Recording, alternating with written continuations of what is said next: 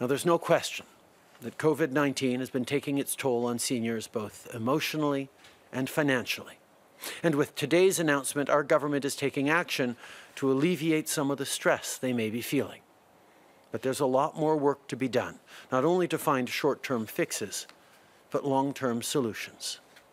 COVID 19 has exposed some uncomfortable truths about our society, including how we care for seniors in Canada. We've seen heartbreaking tragedies in long term care facilities and nursing homes right across the country. Overworked staff, understaffed residences, grieving families. There are serious underlying challenges facing these facilities, and in the coming months, the federal government will be there to help the provinces find lasting solutions.